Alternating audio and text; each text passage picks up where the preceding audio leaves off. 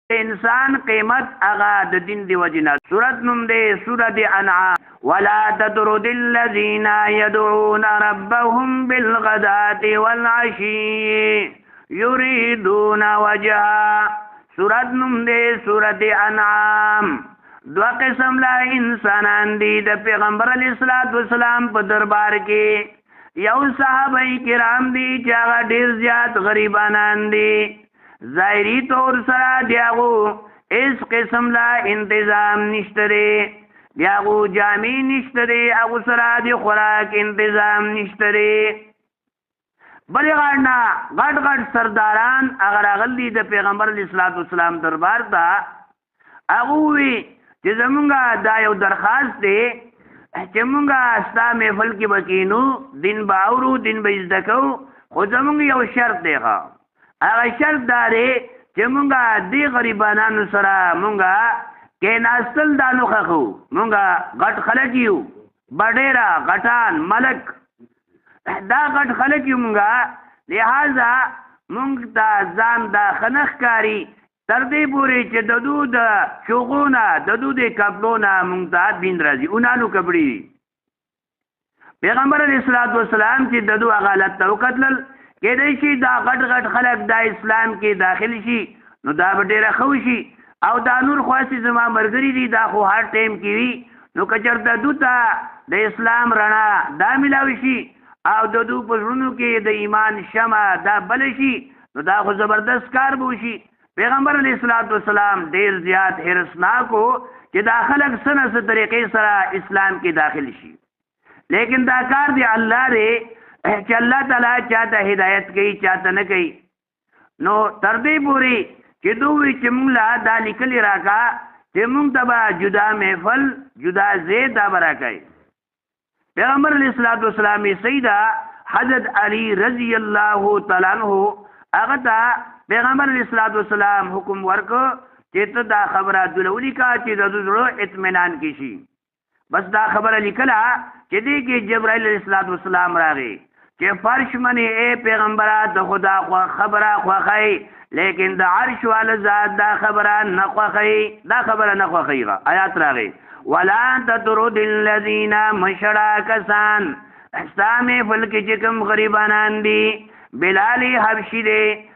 سلمان فارسی دی صحیب رومی دی غریب صحابه کرام خواه څوک دی فارس نراغلی څوک دی روم نراغلی څوک دی حبش نراغلی غریب خلق دی خواه لیکن دا ډیر زیات غریبانان دي لیکن الله څخه د دو قیمت ډیر زیات اوچت دی ډیر زیات اوچت دی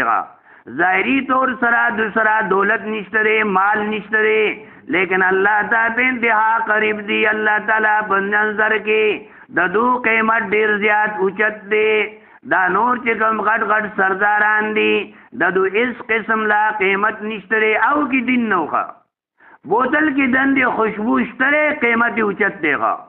ډیر غټ انسان دی غټ بډیرا ملک دی چودري دی او د ملک صدر دی او ټول دنیا د سره ده لیکن دین نشتره د دې انسان هیڅ قسم لا قیمت نشتره خلاصه او نچور دارېغه نو یو غرنا غریبانان دي لیکن هغه په زړه کې دندې خوشبو ده خوشبو ده انسان مثال د بوتل له دې دې بټکان دې یا دې وتل له دا یو بوتل له ها دې کې بکی قران واچوا خوشبو واچوا نو واقعي د انسان قیمت ډیر زیات اوچت شيخه زمونږ د دې غرونو نه د غرونو ککرونه چې څوک پیژني نه د پاکستان غټ غټ خارونو کې ولاړی او غټ غټ خلک هغه پسې ولاړی ښا امامت کوي ښا قران زده کوي قران وای مخکې امامتي کوي او دارنګ اعلی اعلی مقامات ته ځي دا سدي وجنه د دې قران دی وجنه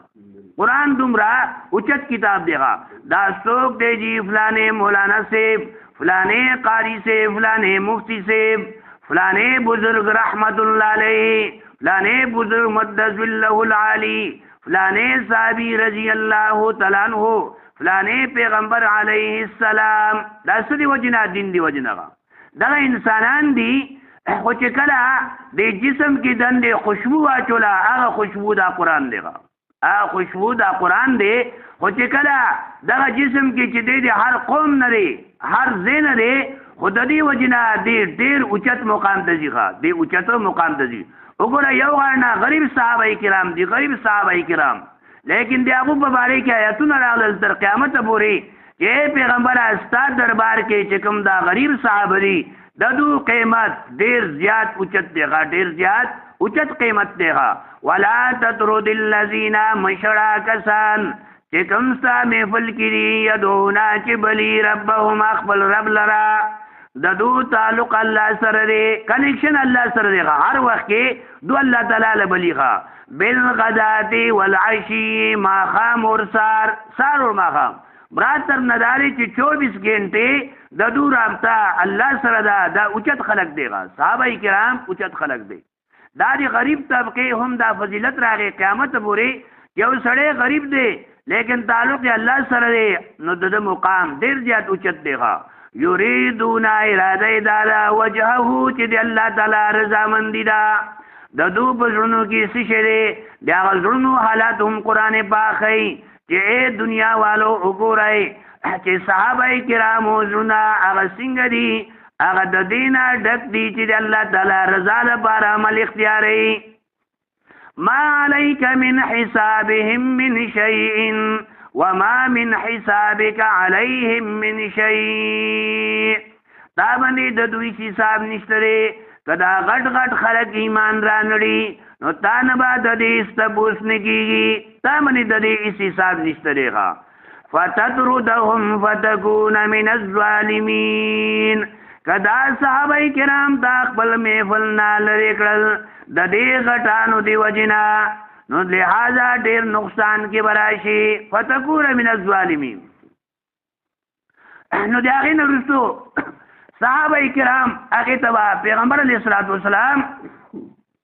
ډیر اوچت مقام سره دا به قتل ښه دا د صحابه کرامو غریب طبقه دی هغه فضیلت راغیغه خلاصه دا شله چې انسان کې دندې دین دی مقام ډیر زیات اوچت دی قیامت پورې دی هغه تعریف راغیغه او هغه نور غټ غټ خلک دی هغه اس قسم لا تعریف را نغه بلکې بلکې هغه دغه انداز سره غزین لاړل دا ولی چاو کې ظاهری طور سره دنیا لحاظ سره اعلی مقام منیو لیکن دین پکې نو نو داغو اس مقام دا پاتې نشغه دا بل زه مقام زراړو ما سورت نوم دی سورت حجرات دی ښا سورت حجرات دی صحابی نوم دی حضرت بلال حبشی دی ښا هغه بانګ وای بانګ په دوران کې غټ غټ کافرو دا واقعې کولی چې وګوره شکر دارې چې زما پلار او نیکو دا ژوندې نه دي چې هغه دارس نه وې کتلې چې وګوره بلال ته وګوره او هغه باندې وای نو شکر دې چې زما پلار نشته دی بعض سړی یو ځای کې یاره ټینګېدی نشي ښه یو سړی دین کار کوي نو بل انسان ټینګېدی نشي یا دنیاوي یو مقام چاله ورکړی نو بل انسان ته ټینګېدی نشي نو کافر دی هغه یعنی دې ته ټینګېدی نشي ښه بعض وایي چې د دې تور کارغه نه علاوه بل څوک نه و چې هغه بانګ ویلی وی بعد وایي چې زه سرونه دا اورم نه نو دې کې الله تعالی جواب لېږه ها سورت نوم دی سورت حجرات یا ایها الناس داسې جواب راغی چې هغه وخت له سره هم جواب راغی او قیامت پورې دا جواب راغی قران جواب ډېر ښکلی دی با سړی ته ډېره سخت خبره وکا کنزل وکا سخت خبره هغه به یو داسې جواب تعالی راکړي چې ته ورته حیران شي ښه قرآن جواب ته ګوره د دو خبره څومره سخته وه لیکن د قرآن پاک جواب ډیر د کمال نه ډک دی او دا هو ته هم جواب راغی قیامت پورې راغی قرآن داسې جواب ورکوي ښه یا ایها الناس ای دنیا خلقو انا خلقناکم یقینی ما تاسو پیدا کړی ای من ذکرین د یو سړی نه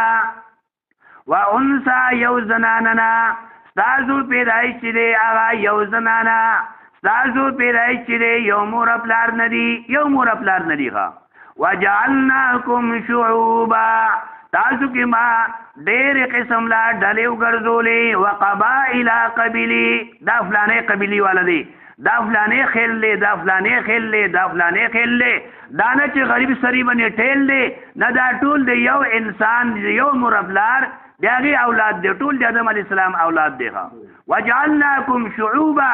وقبائل تاسو کې ما ډېرې قبیلې دا څه لپاره لتعارفو چې تاسو پېچانو کوي یو بل پېچان لا لکه څنګه چې د نوم په ذریعه باندې پېچان کیږي دارنګې د قومونو په ذریعه باندې هم پېچان کیږي خو دا څوک نشي ویلی چې زه د فلانی نسې مخه فلانی نسې باوی زموږ پلار نیکه چې دی یاره جی ډیر نیکان خلک تیر وتی دي او په خپل دې سر نه عبادت نه کوي یو ځای ته یو عالم لاړ ګوري هوټل کې مسله ژوند ده هم مسله ده جانباز دی داسې دی چې هغه بالکل سولېدلی دی او په هغې باندې یعنې دومره موس شوی دی چې هغه پکې نه سوری شوی دی هغه عالم دی هغه دې تپوس کوي چې دا څه وجه ده چې دا مسله تاسو خوره کړ ده خپل په دې یعنې هوټل کې دا څه وجه ده هغوی چې دا زما پلار نیکه یعنې دې باندې دومره عبادت کړ دی دومره عبادت کړی دا برکت لپاره هغه هغې دا تاسو لپاره هېڅ فایده نه راکوي ایس قسم لا پلار نیکه خو ستاسو عبارت کړ دی او چت خلق تیر وته دی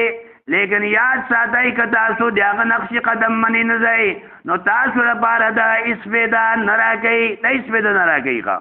څنګه فیدا نه راکې لکه سرنګي چې د منافقانو سردار دی هغه لپاره پیغمبر علیه الصلاۃ والسلام خپل کمیس ورکو دا غوښته سوچا مسلمانو هغه دا وصیت کړو چې زه وفات شم پیغمبر علیه الصلاۃ والسلام زما جنازه وکي او د پیغمبر علیه الصلاۃ والسلام کمی ساغه ته مال وغواړه پیغمبر ډیر اوچت شخصیت دی هغه به انکار نه کوي نو که دا کمیس مال راړي او دارنګ هغه کې زما کفن شي نو پیغمبر علیه الصلاۃ والسلام په کمیس کې هغه دفن شي دیغه لیکن د پیغمبر علی صلوات و سلام کمیس هغه غلا اس پیدا دا نه ورګیغه یو ګور د پیغمبر کمیس دی لیکن هغه منافق لپاره اس پیدا نه ورګی دا جنماز تاسو لپاره اس خه طریقې سره پوه کړغه دا جنماز دی دا تاسو لپاره اس پیدا نه راکې چې تاسو به مز نه کویغه بعض خلک چې کوم دی هغه کورونو کې پیټه وسره ډکی خاوی دا جنماز دی دا مالا فلانی را کړ دی فلانی را کړ دی موز وغیرہ دا به څوک نه کوي نو هغه شی چې هغه ته استعمال کی هغه ته لپاره پیدا ده بعض سړي له مسواک ورکا هغه سره نه هغه سده کې کیږي دا غي نه خوشبو بوتل ولا ورکا هغه پیټه کی کیږي بیا د مر نورستو بیا ما منه واچوي هغه استعمال ک دنیا کی دنیا کی تعالی چا جامه را کړه اسی شی را کو دا استعمال ک سی دی کی دا غریبل انسان به هم سو شي دی هغه به هم ثواب شي او کته هغه پیټه کی بند ک نو تعالی پاره اس قسم لا فایده دا نه راګیږي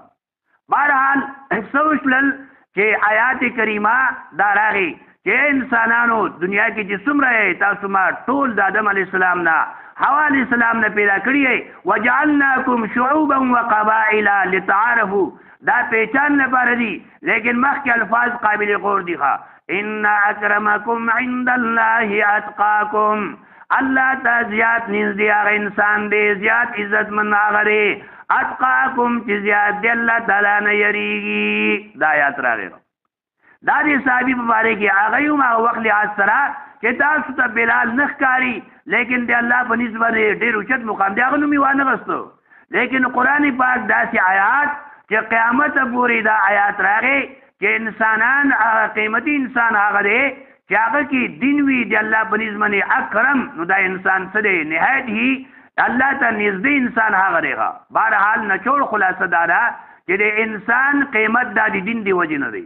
لکه څرنګه د بوتل قیمت هغه د خوشبو دی وجه نه دی دارنګه د انسان قیمت دا د دین دی وجه نه کد سره دین او د مقام ډیر زیات اوچت دی او که دین نه نو دی دا سورای پیسې چې ورته وي د هیڅ قیمت نشته دی به انتها قران پاک کې داسې الفاظ راغلي چې سړی ورته حیران پاتې کیږي سورت نوم دی سورت اعراف دی سورت اعراف دی دا چې یو کس دی چې هغه الله تعالی فرمایي چې هغه موږ ډیر زیات اوچت مقام ورکړیو ښا ډیر اوچت مقام ولا موږ ورکړیو او مستجاب الدعوات او دوام چې کله کولا هغه وای قبل الله قران پاک صرف اشاره اورا واتلو علیهم نبا الذی آتیناه آیاتنا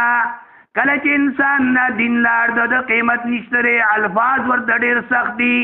بیان کدو تا دی هغه سړي خبر چې مونږ ورته آیاتونه ورکړیو اوچت نعمت ښه فانسلخ منها دی دی هغې نه ووته فاتبعه الشیطان د بس شیطان شو فکان من الغاوین شد ګمراهانو نه ولو شئنا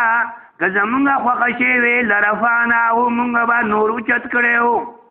نو د دې مثال قران پاک خی ډیر سخت الفاظ دیغه فمثله کمثل الكلب د دې مثال په شان د سپیره قران الفاظ ښا قران الفاظ کمثل الكلب مثال په شان د سپیره جبه راوت لغه اوچت انسان و لیکن کله چې هغه دین پرېښود لاړ ارتاو شغه دنیا نه لاړ ګمراهي کې لاړ ارتاو شغه دا قران پاک خیم ته چې انسان قیمت هغه د دین دی وجه نه دی دین نه انسان هیڅ قیمت نشته لري بیکار شی دی هغه هیڅ قیمت دی هغه نشته لري لہذا که یو انسان دا غواړي چې زما قیمت اوچت شي نو دې خپل جسم کې خوشبو واچي خوشبو دی واچي دې به قیمتي شي دی به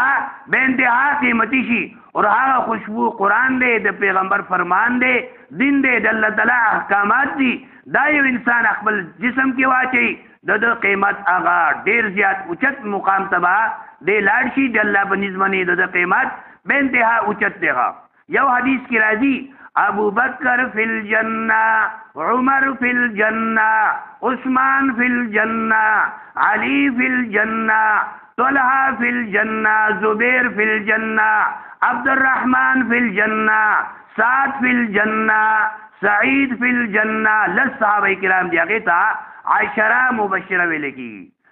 چې هغه د الله تعالی پیغمبر خوشخبری ورکړ دا چې دا فلانه صاحبي جنتی دی فلانه جنتی دی فلانه جنتی دی دوته دنیا کې زیره ورکړ دیغه دا سدي وجنا چې دو دنیا کې د قران خوشبو خپل جسم کې اچولې وا لہذا دغه مقام دومره اوچت درجه ته لاړ اوچت اوچت درجه ته دغه مقام لاړ نو لهذا نن موږ مسلمانانو لپاره هم دا پکار دي خاص طور سره رمضان مبارک میاشت را روان ده د هغې نه مخکې مخکې خپل ځان کې انقلاب تبدیلي دا راویستل پکار دي چې هر مسلمان دین لحاظ سره زنانه که نارینه د هغې مقام هغه که اوچتوالی غواړي نو هغه څه دی وجې نه د دې دین دی وجې نه هغه مسلمان لپاره پکار دی چې قرآن او د حدیث خوشبو هغه خپل جسم کې واچي او بعض انسانان دنیا نه وفات شي دي تللی د هغو د قبر نه خوشبو ځيغه مولانا احمد لاهوري رحمت الله علیه ډېر لوی عالم تېر ودرې کله چې هغه وفات شي قبر نه خوشبو روانه وه د راویړ مشر حاجی عبدالوهاب صاحب چې هغه پرس کالې وفات شو د هغه د قبر نه خوشبو روانه وه نو بیا انسانان چې کوم دی په مخه دا خاور وړي لیکن دا خوشبو دا ختميږي نه بیا د الله ولا خلک دعا وکي چې دینه یعنی فتنه شرک جوړ نشي بیا خوشبو ختم شي دا الله تعالی خې د دنیا کې خې انسانان دا چې قران پاک دا یعنی انسان لا خوشبوداري ښه انسان لا خوشبوداري چې د دنیا کې دا عمل اختیار ک نو واقعي د دینه اوچت کتاب دا نشته لہذا هر مسلمان لپاره دا پکار دی چې قران پاک که چا نوی ویلې بالکل سمون بوکمون عمیون دې دور کې دا شي چې قران پاک ولا ناراضي داغه دې قران پاک ته ګوري قران پاک باندې ګوته ګرځي نو بیا به هم سره سره درجه کې به دی راشي کا د الله کتاب سره تعلق ساتل پکار دي مسلمانانو لپاره دنیا او دارنګي آخرت تمام فواید دا بدتا حاصل شي الله تعالی دې موږ له صحیح طریقې سره قران پاک تعلیمات باندې عمل کولو توفیق راکړي وما علينا الا البلاغ